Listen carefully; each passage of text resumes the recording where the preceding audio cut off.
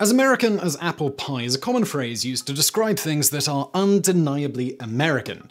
But is it actually? First of all, apples themselves aren't American. When colonists arrived in North America, they found only crabapple trees, and if you've ever tried to eat a crabapple, you probably know that it wouldn't be very nice in a pie. The most likely ancestor of apples, as we know them today, can still be found in Asia, the wild genus Malus sieversii. Alexander the Great is said to have discovered dwarfed apples in Kazakhstan and brought them back to Macedonia in 328 BC, but there is fossilized evidence of apples dating as far back as the Iron and Stone Ages in Switzerland and other parts of Europe. The Romans are thought to have introduced apples to England, and from there, American colonists started spreading them throughout the New World. Apple seeds were spread along trade routes, but the early trees were unable to bear much fruit due to a lack of the European honeybee, Apis mellifera. This type of honeybee was shipped to the Americas in 1622. It was much more prolific than the native honeybee, the Apis melipona, which produces less than one kilogram of honey each year, compared to the Apis mellifera's 50 kilograms. As apple trees depend upon pollination to fruit, apple trees flourished after the introduction of the European bee. By the time apples arrived in the Americas, cooking with apples was nothing new. In fact, the first recorded recipe for apple pie was written in 1381 in England and called for figs, raisins, pears, and saffron in addition to apples. Early apple pie recipes were a lot different than what we know today as they rarely called for sugar, an expensive and hard to get item at the time. Originally, this apple pie was served in a pastry called a coffin, which was not normally meant for consumption and was only supposed to be meant as a container for the filling. Similarly, Dutch apple pies, the type usually decorated with a lattice of pastry on top, have been around for centuries. A recipe for apple pie very similar to today's recipes appeared in a Dutch cookbook in 1514. A variety of other recipes appeared in French, Italian, and German recipe collections dating back to before the American colonies were settled. Even when the American colonists were finally able to produce enough apples to cater to more widespread consumption, they were initially mostly used to make hard cider rather than pie. Apple pies generally call for cooking quality apples, varieties that are crisp and acidic, and such apples hadn't been developed in the American orchards. Perhaps one of the contributors to making apple pies an American dessert is John Chapman, a Massachusetts man you probably know better as Johnny Appleseed. As we've noted before, born in Massachusetts in 1774, Chapman traveled throughout America's frontier, planting apple orchards largely in Pennsylvania and Ohio, and becoming something of a legend and American folk hero even in his own time. Chapman's beloved apples became American by association. Much more significantly, apple pie was cemented in American history by a 1902 newspaper article that claimed no pie-eating people can be permanently vanquished. American soldiers during World War II also did their part to popularize the stereotype. When asked by journalists why they were going to war, the common slogan used for a response was for mum and apple pie, which later gave rise to as American as motherhood and apple pie. Because most Americans are suckers for patriotism, apple pie was quickly adopted as the American thing by the 1960s, as American as apple pie, dropping the most obviously not unique American thing of motherhood. While that is the widely held origin of the rather incorrect phrase, an alternative hypothesis, sometimes put forth as to the origin of the expression, is that it actually predated the soldier's usage and derivation of for mum and apple pie. In this origin story, the expression was actually put forth as part of a marketing campaign by apple growers trying to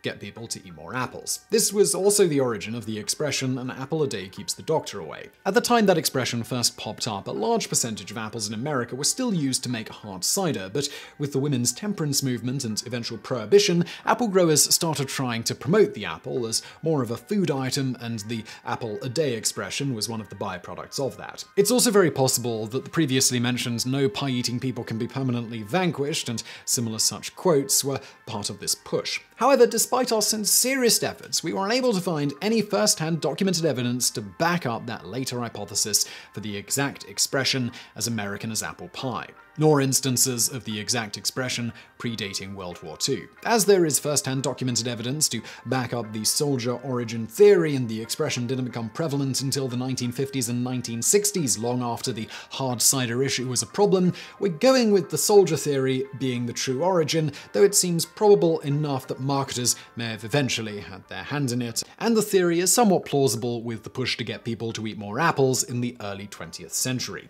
In the end, America seems to have taken the apple pie and run with it, making it more popular. While American apple orchards had a bumpy road to producing good apples, America eventually became one of the largest producers of apples in the world. Nearly every farm grew apples during the United States infancy, and today over 220 million bushels of apples are produced every year there. It's only second to China, which produces roughly half of the world's apples. And now for some bonus facts. When researching such things for a living, you quickly find that advertising campaigns are the root of an amazing amount of traditions. Even things like the fact that today in the Western world, it's not common to have children fully potty trained until they're three-ish years old. This is around double what it was before the disposable diaper was invented, and those companies making them heavily pushed that it was bad to potty train children sooner, even getting doctors to claim it was mentally traumatizing, or at least saying the doctors said this in ad campaigns, something that many people believe today despite the lack of any evidence. Later, there was a push that it wasn't even possible to train your children on the potty earlier.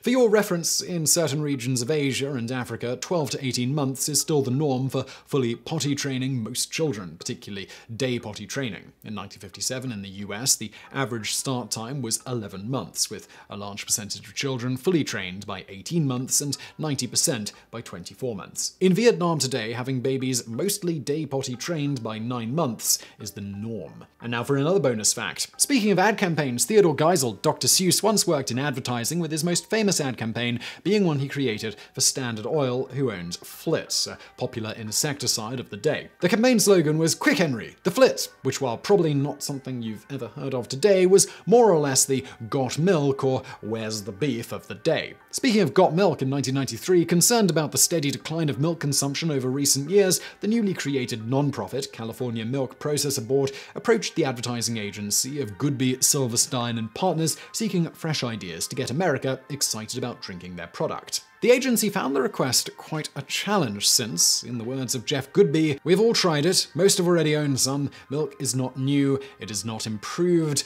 there is very little to say about it. And so, despite years of experience, the madmen and women of Goodby, Silverstein and Partners were at a loss for where to start when, during a focus group, one woman noted that the only time I even think about milk is when I run out of it, which led Goodby to write down the now famous line, got milk. Still not convinced they had the winner, some members of the firm were convinced that not only was the phrase grammatically questionable, its production hadn't required much effort on their part. It seemed too simplistic to present to the milk processor board. Others thought that the campaign should instead recognize that people almost always drink milk with other foods, like cookies or cereal, and wanted the ads to focus on milk and XYZ. Ultimately, however, perhaps recognizing that brevity can be the soul of wit, they stuck with the two-word question, with the minuscule case set it in its now iconic typeface, and began telling stories of how much life can suck when you run out of milk. Generally involving an individual caught in the middle of eating something sticky or dry when he realizes he's out of milk, the commercials typically ended with the distraught character looking pathetic and a narrator asking if you are sufficiently prepared to avoid this type of calamity with the simple question, got milk? While many of the commercials are classic, none is more well known than the first in the series, which was directed by none other than Michael Bay. Yep, that Michael Bay. Sometimes called Got Milk slash Aaron Burr for those not familiar, the television ad opens with classical music playing while the camera scans a large apartment crammed full with Alexander Hamilton memorabilia. As the song wraps up, the sole occupant of the apartment finishes spreading peanut butter on a slice of bread and takes an enormous bite, just as the announcer says that the day's $10,000 question is Who shot Alexander Hamilton? In that famous duel. Now several shots of Hamilton Burr collectibles are shown, revealing that the answer was not only Aaron Burr, but that the peanut butter eating character knows this as well. The phone rings, the announcer asks our character the question, and he answers, but because of the peanut butter gumming up his mouth, his answer is unintelligible. As his big chance slips away, the character goes for a glass of milk to clear his palate, only to realize the carton is empty. The announcer cuts the call, having not heard the correct answer, and as the screen fades to black, the character, now broken-hearted, continues to try to articulate the answer to no avail, and then his apartment dramatically explodes. We're joking about that one, but it is Michael Bay. The commercial ends with the familiar phrase on screen, got milk. Wildly popular, Bay's commercial won the Silver Lion at Cannes, as well as the Grand Prix Clio for Commercial of the Year. Within two years, the milk processor education program, MilkPEP, was distributing it nationwide, and by the mid-1990s, more than 91% of American adults were familiar with the Got Milk campaign, which eventually morphed into other forms, such as with milk mustachioed celebrities in a variety of poses. So I really hope you found that video interesting. If you did, please do hit that thumbs up button below and don't forget to subscribe. And as always, thank you for watching.